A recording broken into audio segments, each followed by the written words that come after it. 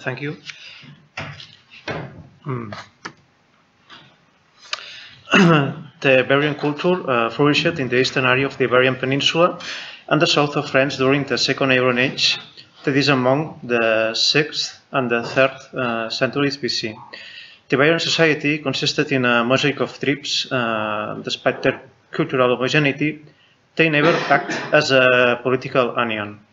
The zenith of the Iberian culture was documented among the 4th and the 1st centuries BC. In this paper, we will focus in two particular areas of the northeast of the Iberian Peninsula, the Cessetania and the Western Ilergetian uh, territory. The Cessetania is a relatively uh, small area from Catalonia in the province of Tarragona. It has a typical Mediterranean orography. It is limited by the mountain of Prades in the northwestern side and the Garraf mountains, so in the east, which separates this area from the Llobregat river's watershed. Opposite to the mountains, there are plain extensions that meet the Mediterranean Sea at the lower point. The Elasetian territory comprises a vast plain region located between the coastal mountains So and the Pyrenees. Nowadays, it is split among the western Catalonia and the eastern lands of Aragon. But during the Iron Age, the whole region was a part of Iberian culture continuum with some minor specificities. We will, we will focus on its western side. Uh, its height drops from uh, one, uh, 500 meters to 100 meters at its uh, lower point. This plain area is crossed by two main rivers, the Cinca and the Segre, which cross this hinterland from north to south flowing to the Ebro. As the title of this paper stands, it is a summit that the main commercial networks uh, operating in ancient Iberia was based on the interconnection of the, the maritime and the fluvial routes. In this sense, the main rivers of the Iberian Peninsula northeast, uh, especially the Ebro, uh, became communications hubs towards the inner lands. long-distance shipping through the fluvial network is a well-known phenomenon. Scholars haven't paid attention to local and medium-range communications uh, in, in the Iberia case. In our study cases, we will focus on two areas that remain peripheral of the main fluvial transport, transportation network. It is commonly assumed that the distribution of freights in the inner lands must have been known by, cart, by carts or pack animals. Horses, donkeys, and oxen were the most suitable animals for this purpose. Uh, in this regards, uh, donkeys and mules uh, should have played a capital role in the circulation of goods and wares, especially in medium and short distances. In summary, uh, due to this lack of studies, we will focus in modeling terrestrial transportation during the Iron Age, both in Cessetania and the Western Ilergetian territory. Our aim is to uh, theorize about commerce and distribution of freights and commercial networks at medium distance and local scales. Uh, thanks to the LCP routines, we will revolve uh, around the logic behind the major roads networks in each territory. In this sense, this experiment will make us uh, reflect if Iberian landscapes were uh, time escapes or energy escapes. In view of the aforesaid, we agree that it is important to identify the main communication corridors, but we cannot forget short-term routes.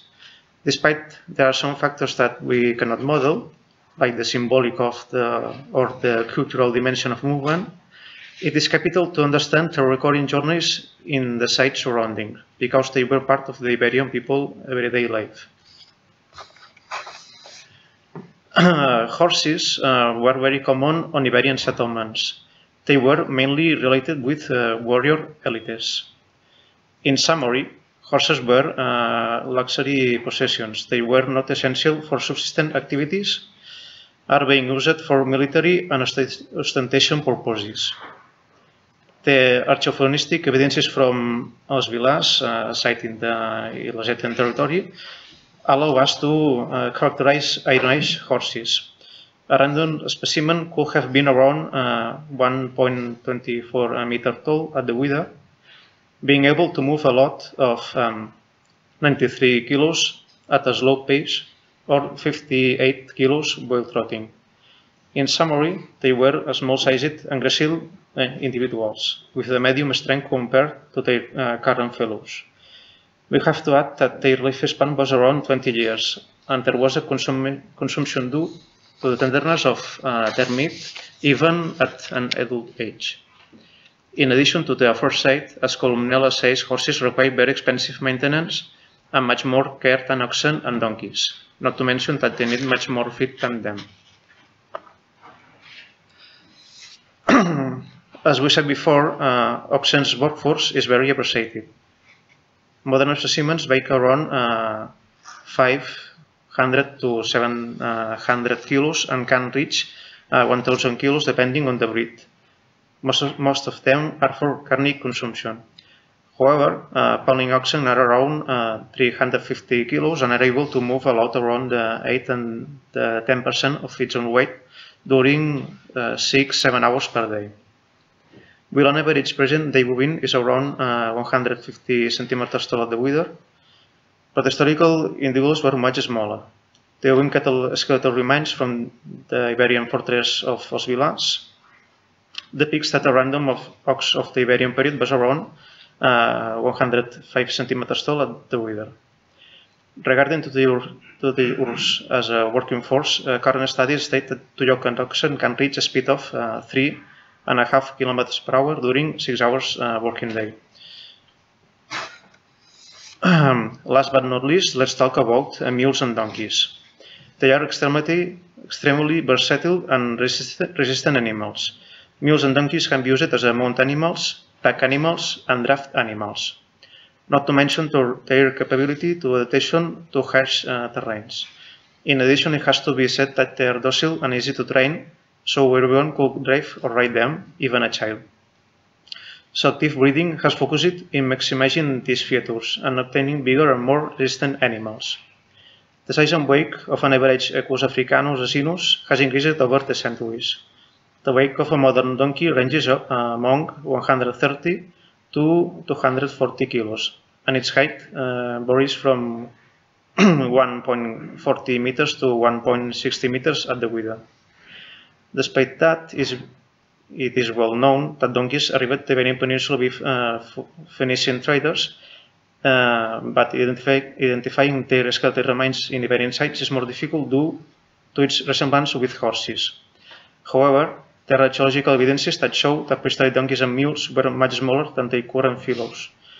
The size of an Iron Age specimen, specimen uh, from the Iberian Peninsula, in particular of the neighbor region of Valencia, uh, ranges around uh, 89 centimeter and uh, 120 centimeter tall at the rear. Uh, in summary, prehistoric donkeys and mules were smaller than current ones. Uh, however, this fact this did not prevent the use as a draft animals. This point is confirmed by a presence of drug-related pathologies in prehistoric donkey skeletal remains.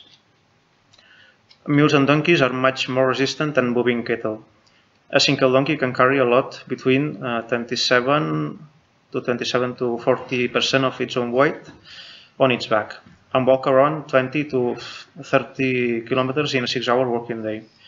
This increases when pulling a cart a donkey pulling a 100 kilo cart is able to move a lot to uh, 400 to 5, uh, 500 kilos in a flat terrain. As a result of that, the speed decreases to 2 kilometers to 4 kilometers uh, per hour, being able to travel around uh, 12 to 24 kilometers per day, uh, depending on the size, the weight of the animal, and the load. In view of the aforesaid, we consider that mules and donkeys were the most suitable animals for freight traffic in areas like the Kazakhstan and the hinterlands. In order to demonstrate this state statement and taking into account, we have exposed before, we have experimented three premises. Uh, a single walker of uh, 80 kilos and 180 kilos donkey with a load of uh, 50 kilos on its back at a speed of uh, 5 km per hour and um, two 180 kilos donkey with a loaded cart of uh, 100 kilos carrying 300 kilos at a speed of uh, 4 kilometers per, per hour.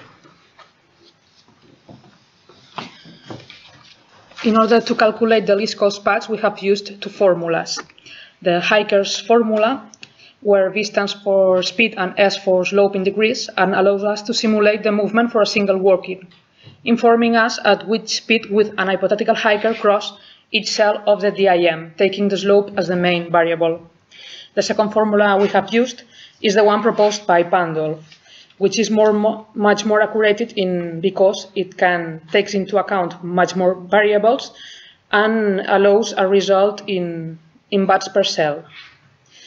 Both areas, the Cessetania and the Western Ilergetia, are crossed by modern infrastructures. In order to avoid them to alter the results of our calculations, we have created a DEM indicating the, the LiDAR topographic basis of the Catalan Cartographic Institute, and in order to recreate uh, with as much accuracy as possible the ancient topography. Uh, with this uh, objective, we have created uh, two DEMs, one of uh, 5 meters per cell for larger areas, and another one of 2 meters cell for smaller ones, free of noise and modern era distortions. In the Ilergetian case, the start and the, and the endpoints for the LCP long-range experiments were set by performing a morphometric analysis with LandSerf 2.3, with the aim of detecting natural points of entrance to the region. Uh, the objective is to identify the main communication corridors. We have also considered as entrance points some well-known fordable places in the fluvial network. This method is based, is based in Murrieta's experiments with least cost paths in, in western Sierra Morena.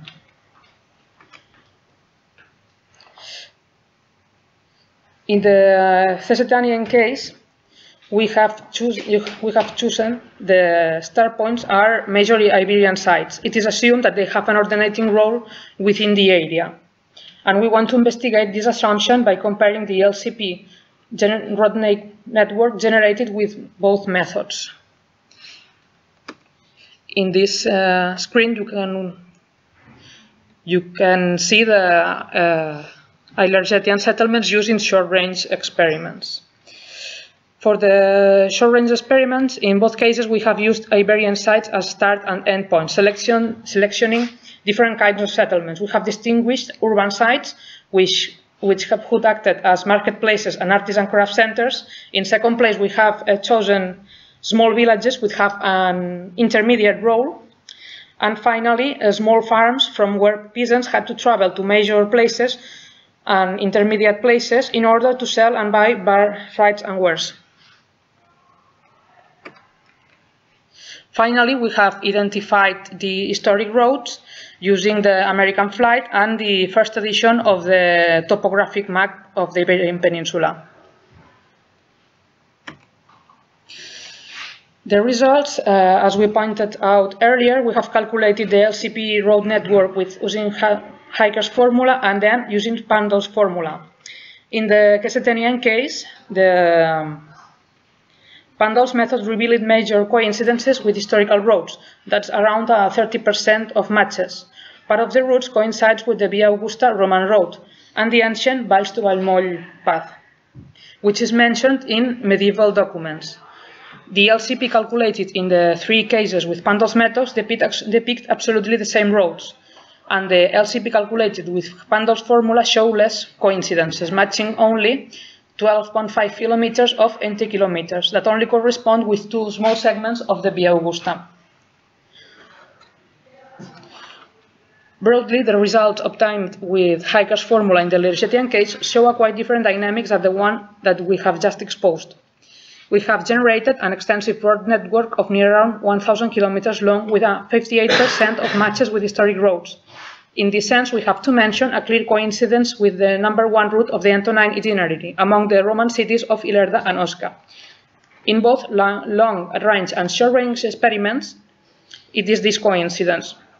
In this sense, we can propose that this path indicates the presence of a natural corridor that was in use much, many centuries before the arrival of Rome, that since the Iron Age. On the other side, Pandolf equation displays longer routes. They try to avoid topographic features, looking for the areas with a lower slope, with a high recurrence index among routes with different starting point. In this case, the LCP network is about uh, 1,800 kilometers long and it only has a 32% of coincidence with historic roads. Unlike in the Cessetan case, the, the coincidences are minor that of the obtained with the Pandolf formula.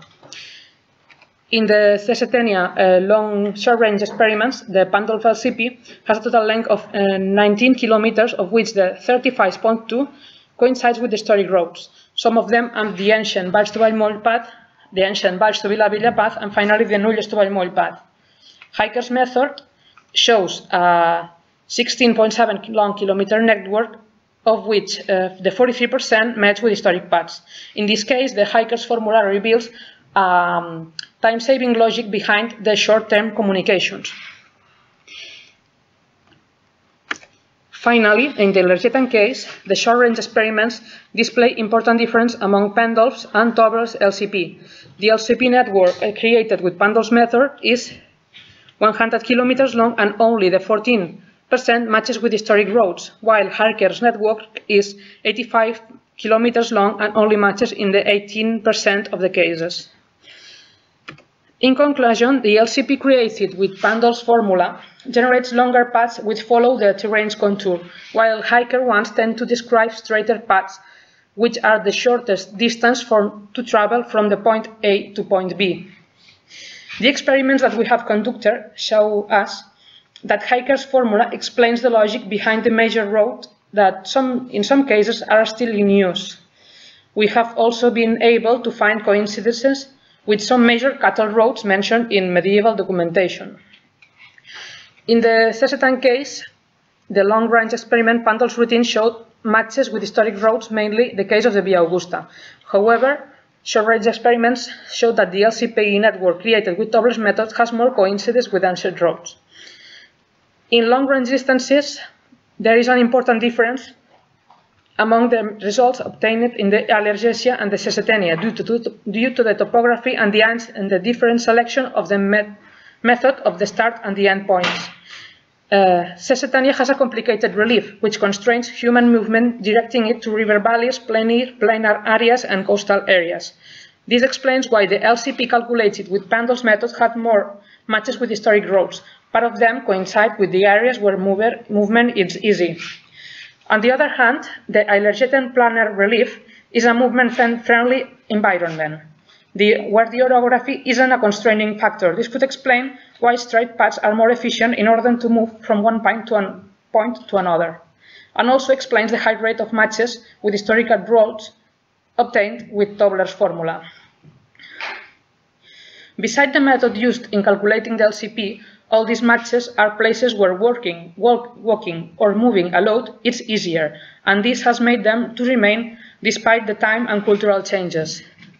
Studies about Iberian cultures often tend to display maps where archaeological sites and rivers are shown. With the aim of understanding the structuring of the territory, we have tried to construct a first approach to movement in these two Iberian landscapes by comparing two well-known LCP routines. These ones, these ones, the LCP routines, have been often criticized due to the difficulty of modeling cultural and human factors. Despite that, we found that in our study cases, they are useful in order to propose and answer questions about movement in both areas, and also in understanding the logic behind movement in Iberian territories, and also its persistence through time and cultures. And thank you very much for your attention.